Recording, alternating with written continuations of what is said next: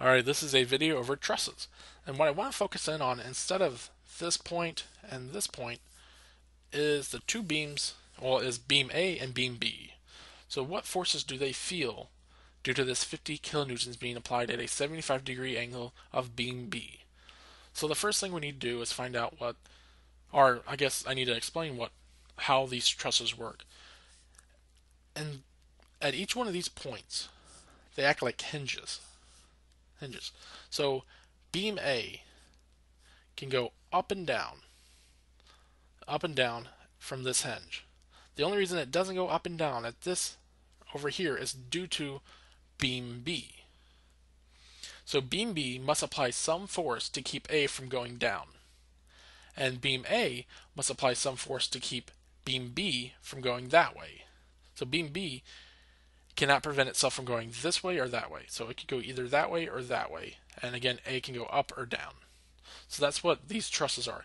They cannot prevent themselves from going, well, from rotating. So at points, they can rotate. They don't provide any rotational resistance or any forces to resist any rotation. So we need to find what the y components of this 50 kilonewtons are. So we want to find the y components. And we'll do that by finding what this total angle, what this total angle is right here. So we know the inside angles of a equilateral triangle are 60 degrees. So that means we have we have a 60 degree angle, which is right here, plus the 75 degree angle. And then what we're going to do, we're going to shoot straight down. And if we minus 90 degrees, that will give us this angle. So we can find out what that angle is. So this is equal to a negative 15 degrees. So then we have 65 minus 17, so that's 45 degrees. A 45 degree angle. So just clean that up a little bit. So now we know this side is 45. And if this side's 45, then this side's 45 assuming we have a right angle. So then this side, this side right here is equal to this side. So that means the Fy component of the force is equal to the Fx component of the force. So it doesn't matter which system we use, we can use the the weighted to So let's find the y component of this force. So Fy is equal to the force times the sine of the angle. So then we get, we get, we have an angle of 45, so we get the sine of 45, and we multiply that by 50, so we get 35.3 kilonewtons. So Fy is equal to 35.3 kilonewtons, and Fx is also equal to 35 kilonewtons. So we know what Fy and Fx are. So I'll just clean that up now. So beam A is not providing any forces upwards. Only beam B is.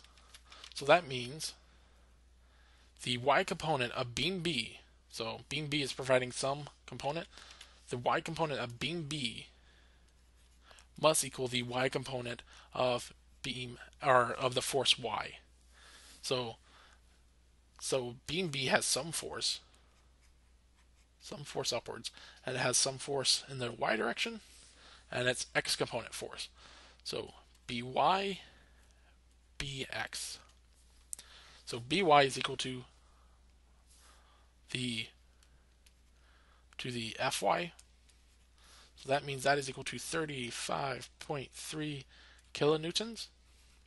So then we can find the force on beam B.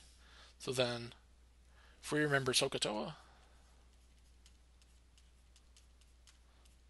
TOA, oops, TOA, and we'll go with, we have the, we have this angle, so we'll go with the adjacent over the hypotenuse. So we know that this total angle is 60, and if we cut it in half, we get 30 degrees. So then we have the cosine of 30 degrees is equal to the adjacent over the hypotenuse. and the adjacent is equal to 35.3 kilonewtons over the hypotenuse. So we do a little bit of rearrangement, and so we get 35.3 kilonewtons, or sorry, we get, yeah, we get 35.3 kilonewtons divided by the cosine of 30 degrees, 30 degrees must equal the hypotenuse. So, so first we'll do the cosine of 30 degrees, or see clear. So we have the 35, 35.3 divided by the cosine of 30 degrees, and that is equal to 40.8 kilonewtons.